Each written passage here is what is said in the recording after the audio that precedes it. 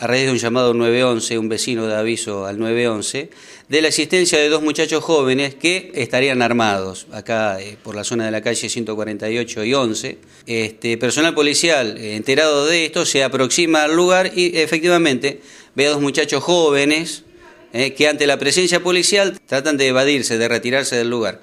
Personal policial emprende una pequeña persecución, estos menores ingresan al palier de la escuela número 9, que está en el lugar en 148 entre 10 y 11. Eh, uno de los menores ingresa a la escuela, el otro permanece sentado en el palier de la escuela. Este menor es identificado por el personal policial.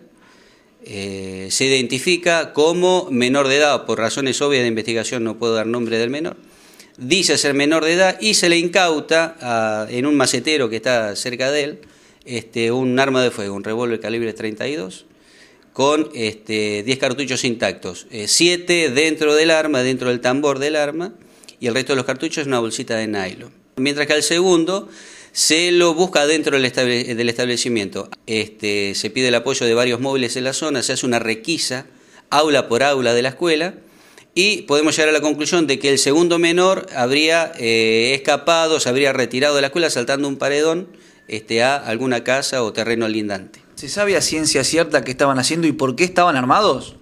Estaban merodeando el lugar.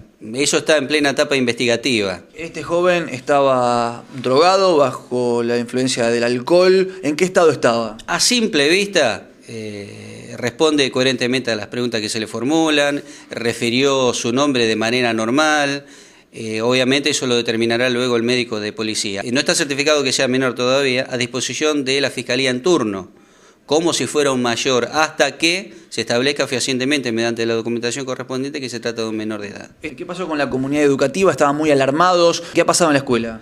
Este, los padres, obviamente, con la preocupación, hicieron llegar esta novedad a la dependencia policial. Ordené que eh, personal de relaciones con la comunidad de la dependencia mantuvieran entrevista en la misma escuela con padres y chicos, inclusive inspectores de la, de, la escuela y docentes de la escuela, eh, siendo pormenorizados lo que había ocurrido, llevarlos a la calma, que no se alteren, que ningún chico había corrido riesgo, que la policía actuó rápidamente y bueno, llegamos a esta, arribamos a esta conclusión.